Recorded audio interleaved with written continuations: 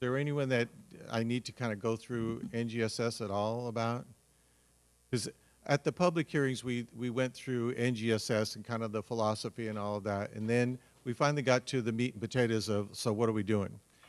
So I thought what I might do, um, and I do have some limited time, I do have to catch a plane back home to uh, see my new grandson. Um, yes, yes, my third one. Actually, the, the son that we were talking about with, uh, uh, that went to San Diego State, it's his first um. And, you know, I really, you know, I really have to applaud San Diego State because, you know, he did get a job and he's doing biotech and he's, you know, he, he left the San Diego area, which we were a little disappointed in, but yet excited because he's more closer to home. But what was really unique is that he left San Diego and had no job, no job at all, with his wife, and he came up to the Bay Area, and within a month, within a month, he had another job. That tells you about STEM activities and STEM uh, related jobs. It's, it, they're hopping. If you're good, and you've got a good background in STEM, there are jobs out there going to create, you know, you just have to have, be in the right place. So within a month, we thought for sure, three, four, five months, you know, he'd be living at our house. One month, he was gone. So that's a good thing. So thank you, San Diego, for educating him, and he's not coming home. He's got a good job, all of that. So anyhow, so with, uh, with uh, NGSS, the real the real story, and I didn't give you the full story at lunch because I didn't want to bore you too much, but you know the legislation says that the superintendent has to produce these standards by July. originally, it was in March. We knew that the national project, as we started to work more and more, because California is one of the lead states. I've been uh, more times in the East Coast uh, than I've been in quite a number of years. Just talking to people, thinking about it, working with the writers, doing all of that so we knew that the national project was going to take longer. We also uh, understood and we really wanted the national project to, to complete its process. We didn't want to rush it. They were trying to rush for California because we had this legislation. And a year ago, I just said, you know, Achieve and the rest of the states, this is ridiculous because we're pushing something that really is going to change uh, the, the face of education and science across the nation. Let's take some time here. So we pushed it back. And they assured me that everything would be done by January. Well, you know, the public release was in January, and then they took it in-house. And, you know, one of the biggest comments that um, Achieve got and the states got was that there was too much information. Because the philosophy of NGSS is that they want it to go deeper, not wider. So in looking at that content, if we could narrow down to what is the essential and the most important for students to understand science, biology, chemistry, earth science, physics, whatever, let's, let's think of what is the most crucial and not for just some students. And I think um, there's an Appendix D, which is all, science, um, all standards, all students. It started off as maybe a five, 10 page document. It's now like 70, 80 pages. So when it's when it's released, and I, I thought it was supposed to be released last week or this week, but um, when it's released, that's going to be very powerful because it talks about English learners, it talks about gifted and talented students, special ed students. It's really going to give you the research and the background of what do you do, how do you handle this.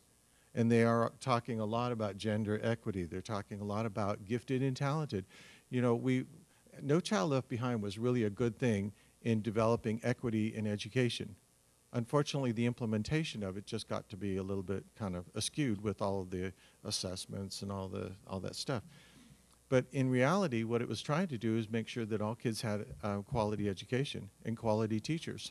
In California, that wasn't such a big deal, but in other states, the quality of the teacher was that they had maybe a, a college degree. No training, no anything, where us in California, we've been, I mean, I've been in the business since uh, mid 70s. You know, even then we had teacher training and we had, you know, we had a lot of work to do before we ever stepped a foot in the classroom. That wasn't the case in other states. So that whole, whole uh, high quality teacher issue really didn't do much in California, except for what it did do is it caused districts to really think about, um, are we putting in a teacher that really has the, the material to be teaching? You know, do they have that information? So anyhow, so with NGSS, we knew that this was going to take time, so we moved it back to July, which is why we're on this very fast pace. They released it in April. we have to have our science expert panel, which is about 25 people, and I can tell you it's um, at least a third, a little over a third K-12 teachers. We wanted to be ensure that we had the teacher voice there, not just a bunch of politicians or political folks. And so they went through and they reviewed the standards, and as I said at lunch, they are in full agreement that NGSS is what California needs for our students. But now what do we do to get there? Because we don't want to just implement. See, I think what, what some folks have said is, oh, well, we'll just take our old activities and we'll reconfigure them, and here we go. Okay, we've implemented. That's not what NGSS is really looking for. It's looking for that transformation. So it's going to take time. How do we get there? So we have looked at it. We think that it's appropriate. We're now discussing the middle school issue. Um, you know, in California, we adopt instructional materials K through 8. And so we have to have some sense of what is being taught at sixth grade, seventh grade, and eighth grade. Because if you know, um, NGSS is grade span. And so what do we do? So if you have any ideas or thoughts on that, you know, I'd love to hear it. But then we need to then talk about high school. And that was what the conversation over here is about. What do we do at high school? My guess, high school folks, it's going to be uh, status quo. My guess is that you will have, you will have those districts you'll have those districts that on local control. Remember, the good news of California is it's local control. The bad news of California is it's local control. So, and, and you have a governor that thinks that the flexibility in funding is appropriate for your school districts because they know, and I'm sure there are districts out there that do know how to spend their money and for the right purposes.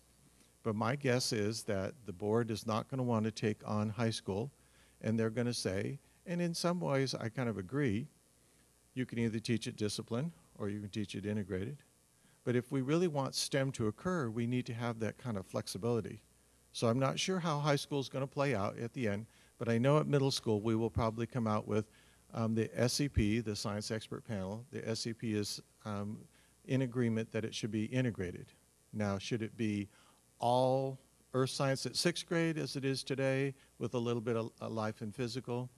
Or should it be all just mixed and really provide a rich context for students to learn? So we have to think about that. So if you have any ideas on, on middle school. But so July comes, and then we're going to start um, the process of adoption. There are some folks that would like us to really adopt in July. Some want us to wait until September. There's some report, national report, that says that California should, whoa, hold on, you're going way too fast. We've been doing this for almost two years. How long would you like it to be? So anyhow, uh, that, that report over there that starts with an F. Uh, so then, um, you know, it'll, it, by November, they have to make some decision. And my guess is that, you know, they will follow the recommendation of the superintendent, but, I, you know, I don't have a crystal ball. But then becomes the process of how do we implement so that we can get to the transformation stage. So there's a couple things that are out there that you might need to know about. One of them is there's a, um, a moratorium that was put in uh, like four or five years ago that stopped the, uh, stopped the department from developing any frameworks.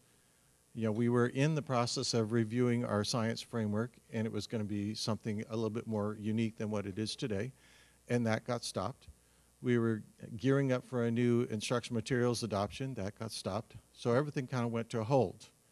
So now for us with NGSS, we had to bring on legislation to adopt new standards. Now we have to bring on legislation which is being discussed right now, and I think it's um, Brownlee or Buchanan, I forget which one it is, that is going to start up the um, development of the framework. Now frameworks, even if we adopt in November of 2013 and we start in, no, in uh, January of 2014, it takes at least a year to develop the framework. So you're not going to have it until probably uh, 14, 15, somewhere in there, probably more like 15. Then remember the framework not only gives you the ideas of how to teach this stuff, but it also gives the criteria for instructional materials.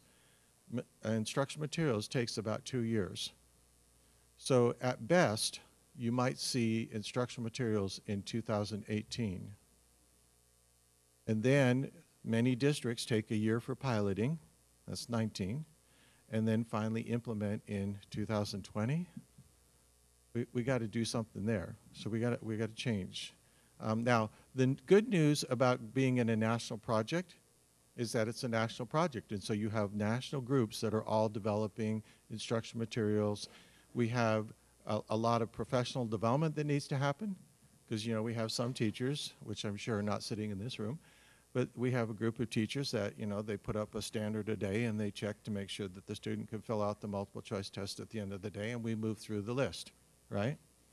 We're actually trying to teach kids science, not just memorize a bunch of stuff. So we're going to have to do some professional development. We know that that's going to take some time and it's going to take some money. So we are working. Um, there's a, a proposal that was just put in by my boss the other day that is looking for, I think it's close to 1.3 billion dollars to do professional development for teachers, mainly in Common Core. There was some conversation about it, science might be added in there, but you know I haven't seen that piece of legislation yet. So that's an issue. But I've been working with foundations, and um, CSLNet has been working with us too to try and develop some rapport with foundations that could help provide some dollars. We're hoping that the Math Science Partnership grants that uh, the federal government has put out, you know, Obama's been making lots of noise about STEM, so we're hoping we have some money there. But, you know, you have your Kiwanis clubs, you have your local agencies that will support you. I mean, look at all all that you had today to that you know could be tapped into. Really think about, and your informals, you know, your science centers, all of those kind of things can really help out too. So we're gonna. It's gonna take a village. I didn't really want to quote Hillary Clinton, but you know, it really takes a village to raise a child. Well, in this case, it's going to take the village to improve science education, because it really is going to take a lot. There is not enough money in California to professionally develop each and every teacher. And so one of the other things that we've been doing is talking about teacher leadership. And I was just in the session on teacher leadership, and I think that's so important because we've got to build capacity within our districts to really get um, the work to happen because there's not enough money to go classroom by classroom. But district by district or you know school by school, there might be. So foundations are thinking about that. The biggest question though is assessment. What are we doing about assessment? You know, are we going to start assessing in 14, 15? Um, probably not, because even if you adopt in end of 13, it takes at least a year and a half to two years to just develop the test. And SBAC, the Smarter Balance, is only in Common Core, math, and the ELA. It's not in science. So California has to think about how do we even fund it, leave alone what is it. So you're probably not going to see any testing, if you see any at all, um, except for that which is required by um, the federal legislation, probably until 15, 16. You might see some, uh, you know, the No Child Left Behind stuff in 14, 15, but, you know, that really depends. There's legislation going through right now that's trying to put a moratorium on assessment that will stop it for at least a year. Um, the, the hope is that A, it gives you time to gear up for Common Core to really implement that. Why test on old standards when you've got new standards? But the real reason is we're looking for dollars. You know, in California, we have not been doing quite so well in the budget end of it. Now, Prop 30 really helped out a lot. And thank God we got that because we would have been in real dire straits. But now we have sequestration occurring, which doesn't sound like it's going to be a lot, but it's 5% of all your federal dollars. And another thing that you don't realize is that in federal dollars, you have a um, maintenance of effort level. So you have this level that everyone's at. And the way the legislation is written is you can't get anything less. But if you've been getting more than what your level was in 2000, I think it was six or something like that, then that's the money that's in sequestration, not this money down here. You're going to get this amount. But if you've been getting more than your normal or your original amount, all of that is what's in the sequestration. And this district may not get anything in sequestration. This district has to make up for what you, this one didn't get. See what I mean? So it, even though it says 5%, the last time we went through a 5% drill, some districts lost as much as 30%, 40% of their federal dollars in particular areas because they were getting more than what they should have been getting according to a certain year. So it's, it's complicated, but there's, there's this issue. So Assessments are going to be an issue. Um, someone was asking, well, how can we ensure that you know we have the right kind of assessment? Well, when the uh, call comes out for anyone who'd like to be a part of the assessment team, you need to put your name in. When the framework commission starts, you got to put your name in. You know, we have good teachers down here. We have great science thinking going on.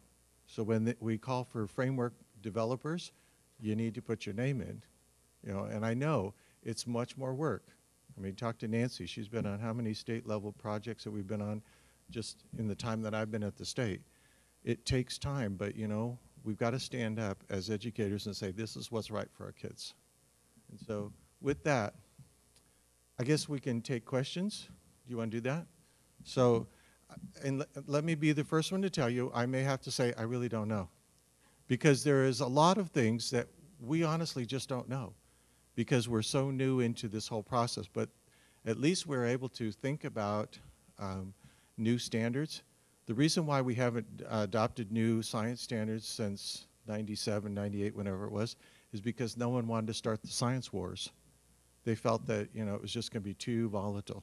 So we may not know some of the answers. So I'll do my best. Questions? You have one behind you there.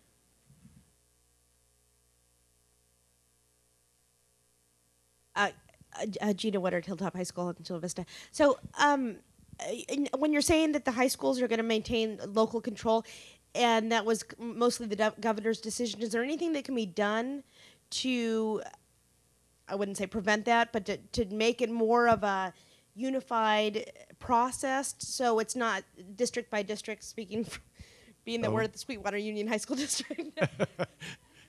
Which district was it? No, I'm just kidding.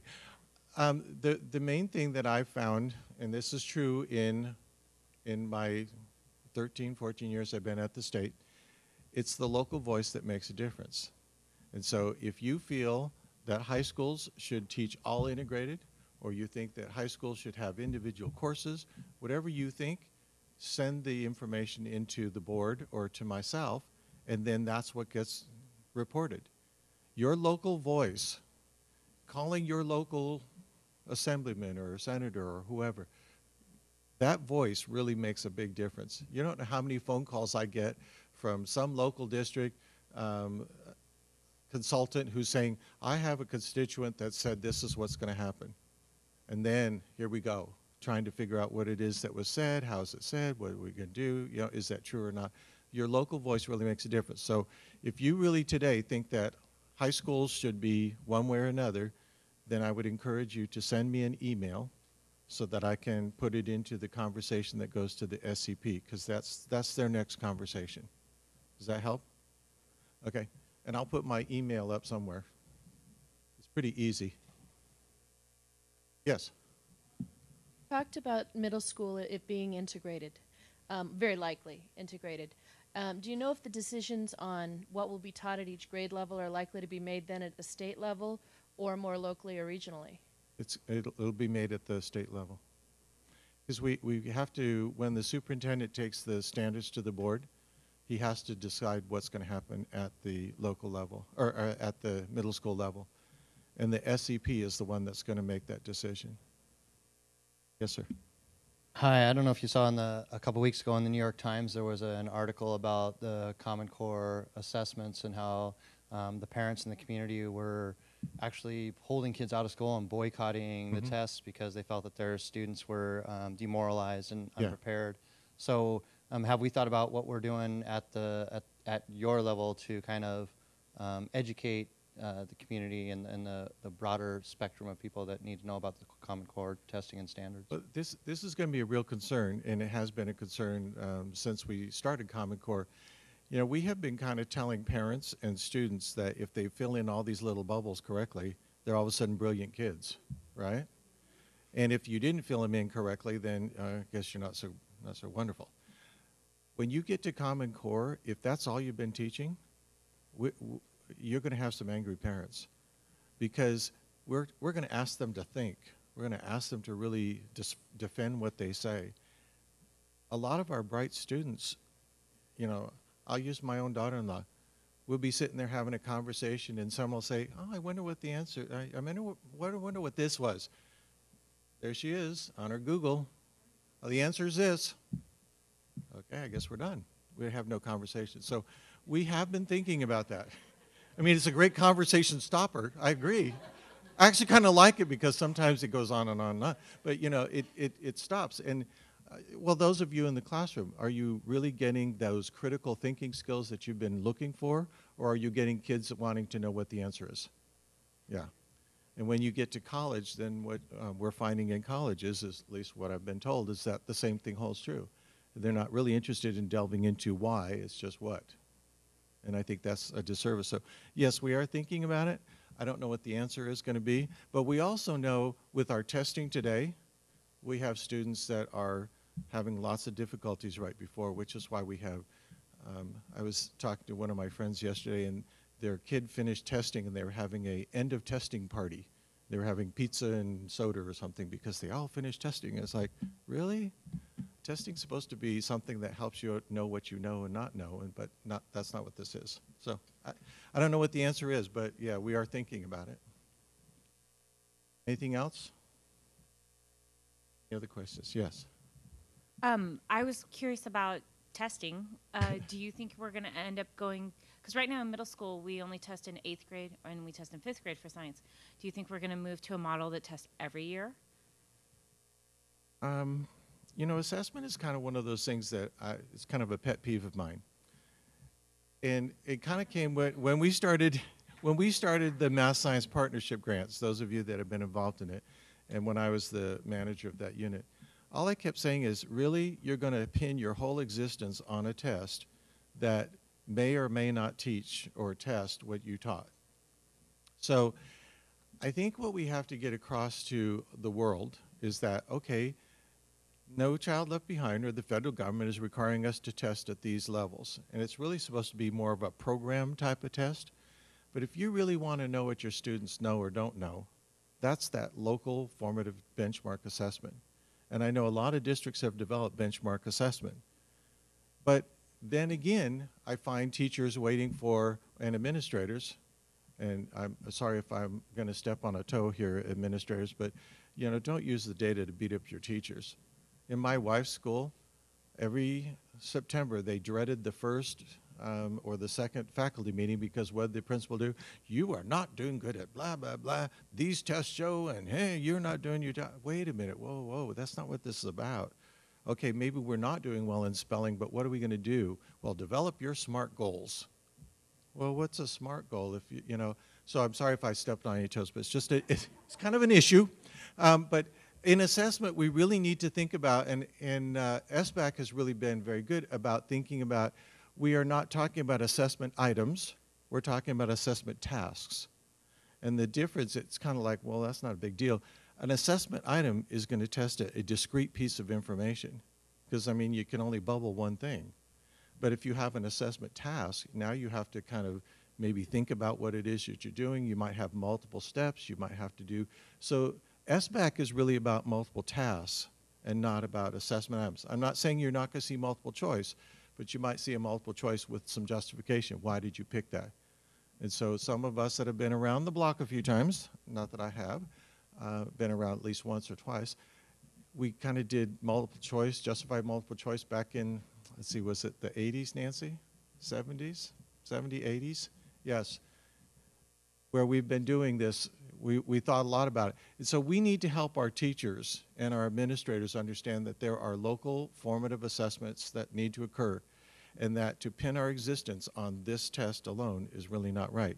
Now, will we ever see this end? I think the federal government is, they're getting hit by their um, constituents saying, well, how do we know all the money going into education works? So I think you're probably going to still see that, but we really need to get to this other.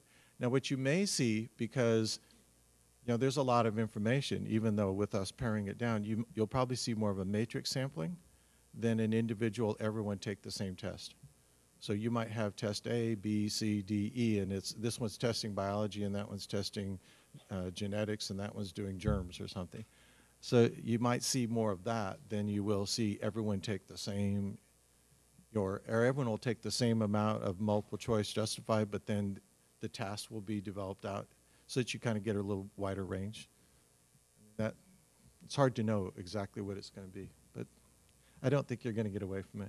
NCLB is kind of here to stay. It was supposed to be uh, reauthorized, what, five years ago, four years ago? Hi. Um, you said um, that at high school level it was going to be copacetic. Uh, I'm not Probably, too happy about that. that's my that. guess. Um, but speaking about that level, um, we have had integrated programs. They aren't integrated like the new standards are, are talking about integrating, but we have had integrated programs for a long time now. Is there any data that you can point to that says kids learn better that way? I mean, as a because what you're coming up against a, a lot of this is the colleges saying, "Did you take biology? Did you take chemistry? Did you take physics?" And they want to see those discrete units, although they are accepting the integrated. But is there any data? So as a old SS&C folk, if you remember that, it was scope sequence and coordination, and it was an integrated program, and we were one of the 100 schools that first started that program. So I'm, I'm very aware of this. And so one of my board members just the other day said, well, what's the research that says that integrated works versus discipline?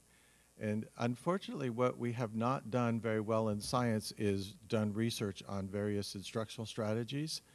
Um, in fact, even do we really know? Of course, I questioned some of the research myself that says we know exactly what students need in math to succeed in college, but there's claims that, that we know this and that we know what it takes to be successful in college in ELA, English Language Arts, but we don't have the research of what it says to be successful in science.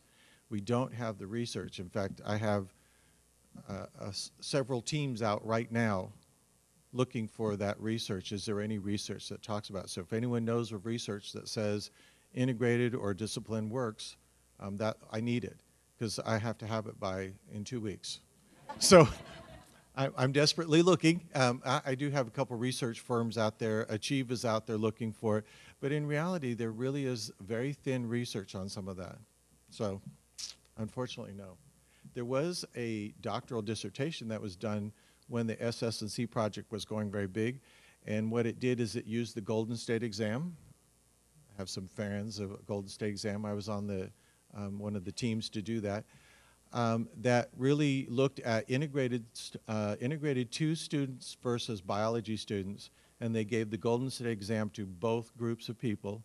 And what they found out was that the integrated people did as well or better than the kids that did straight biology. That's the only thing that I know of, but that was done, you know, like late 80s, and it was a doctoral dissertation. So we may have to pull that that one out again, but very little research.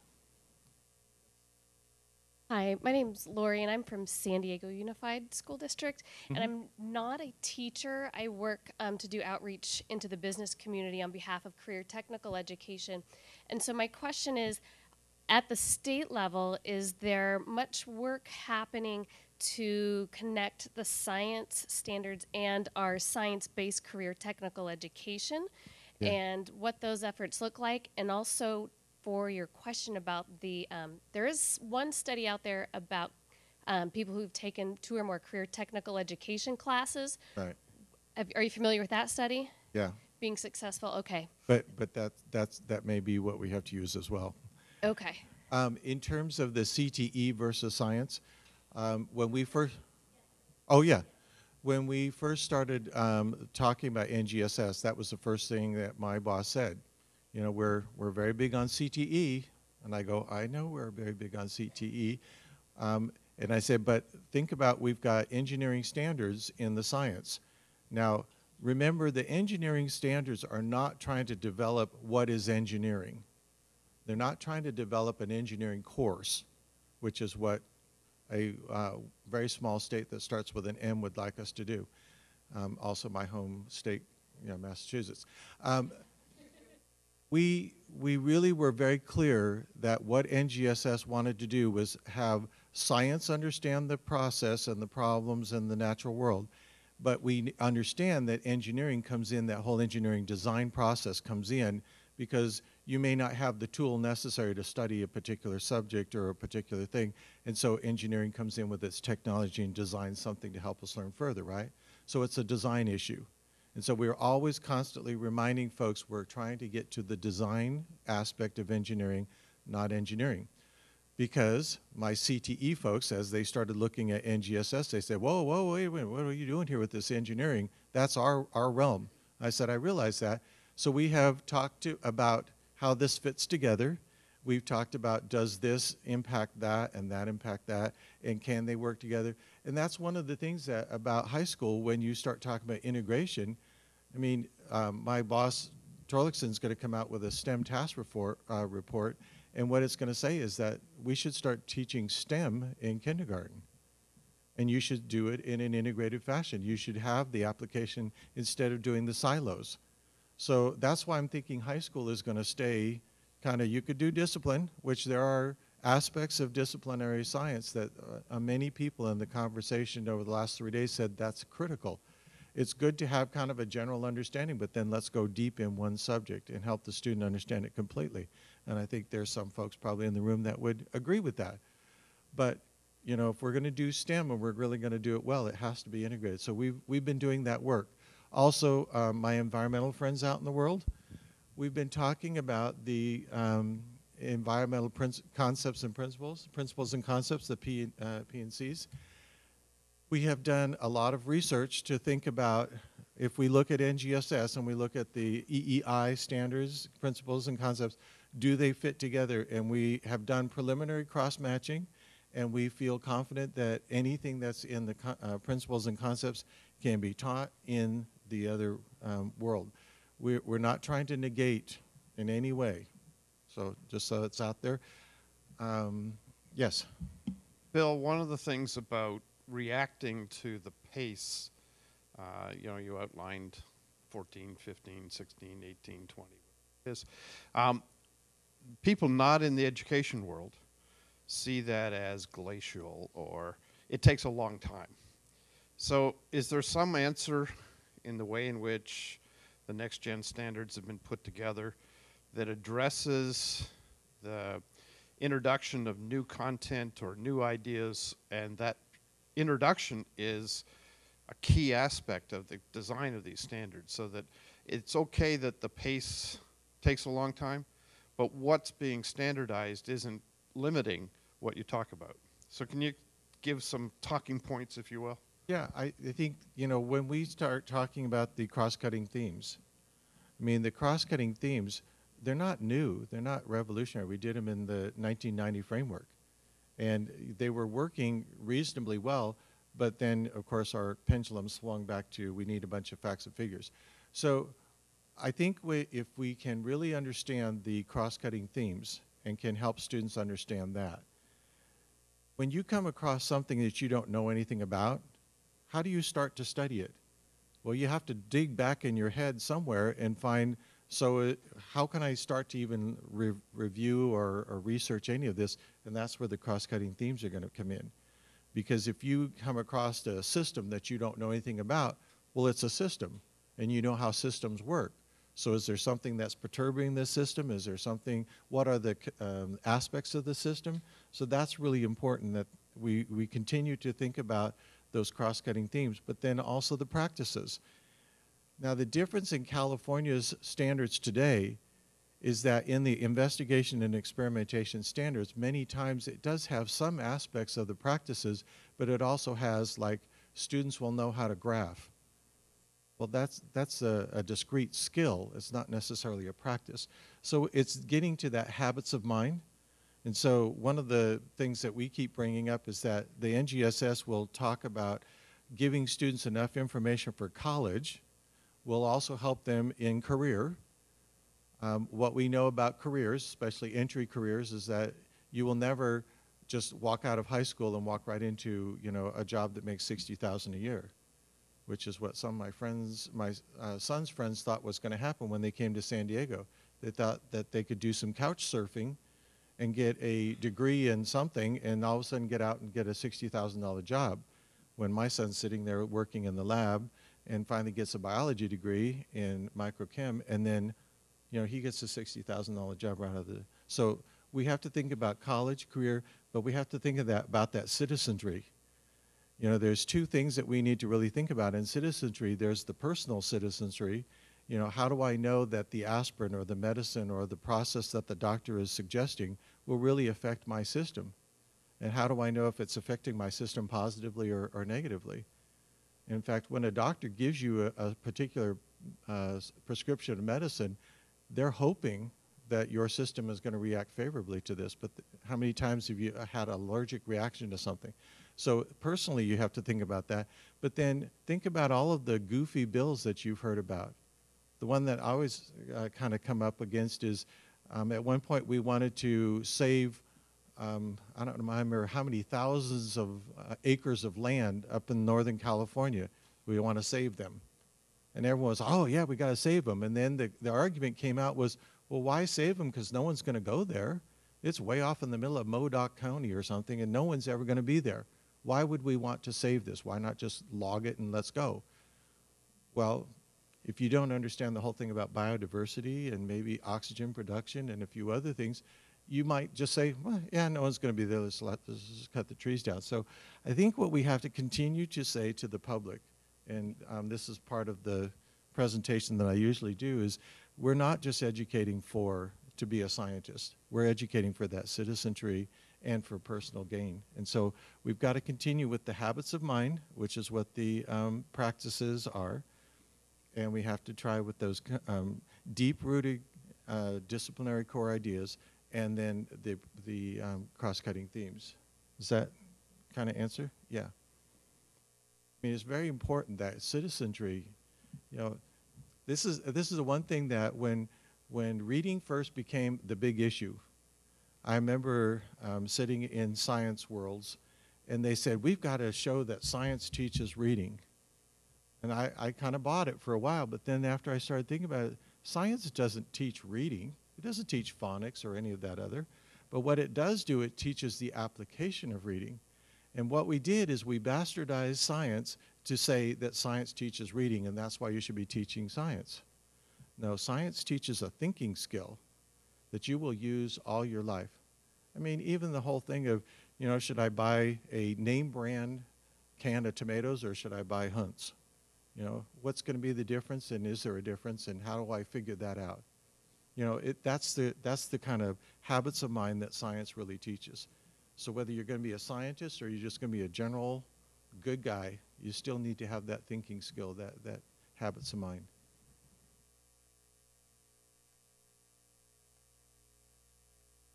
Okay. So really, uh, um, in NGSS, if you haven't joined our listserv, I would really suggest you do because the listserv, and you can get it from your county or you can go on our website. The listserv will keep you up to date, but the things that will happen in the next couple weeks is the board meeting on the 10th, um, and or the 9th, I forget, Wednesday, and it's item 10, and it'll give you some understanding. Um, it's always str- uh, video streamed, so you can, you know, um, it's always archived as well. So you can kind of hear Stephen Pruitt, um, Dr. Stephen Pruitt from Achieve will be here on um, Wednesday. He will talk about the um, January release. He'll talk about how NGSS has changed, which you all pretty much have the information.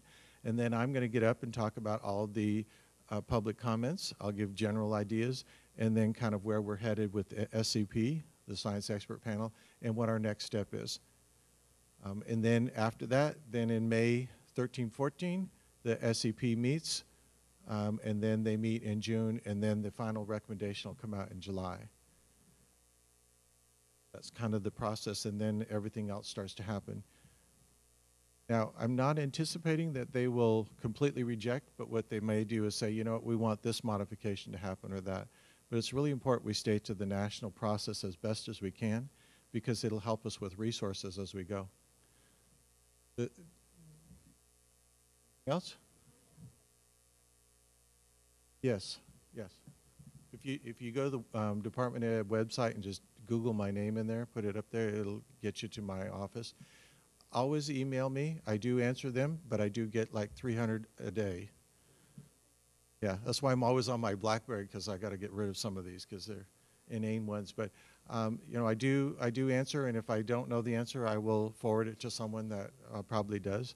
We have a team that's working on this. I just happen to be the point person, but I have uh, several people within my office and in other divisions that are working on this.